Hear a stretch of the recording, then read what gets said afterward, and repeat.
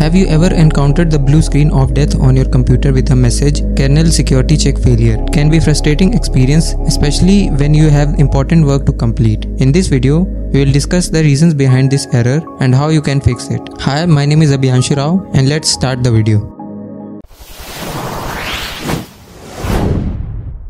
The kernel security check failure error is usually caused by outdated or corrupted drivers, issue with hardware components, or faulty memory. Let's break down each of these causes and how to fix them.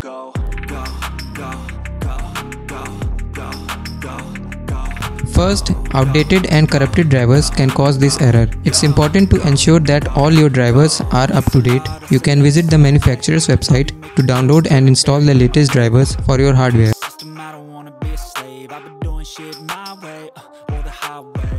Second, hardware issues can also cause this error. You can try checking your hardware components such as your RAM or hard drive to ensure they are functioning correctly. If you find any issue, you may need to replace the component.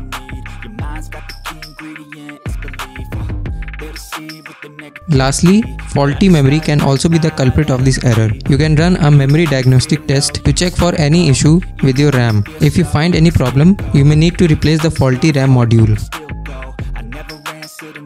In conclusion, the kernel security check failure error can be caused by outdated or corrupted drivers, hardware issues, or faulty memory.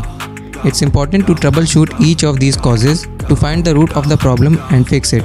These steps, you can quickly get back to using your computer without any frustrating errors. Thank you for watching. If you liked this video, then don't forget to press the like button. Also do share it with your friends and families. For more videos like these, do subscribe to Gossipfunda YouTube channel. You can read more such amazing blogs on our website. Visit gossipfunda.com.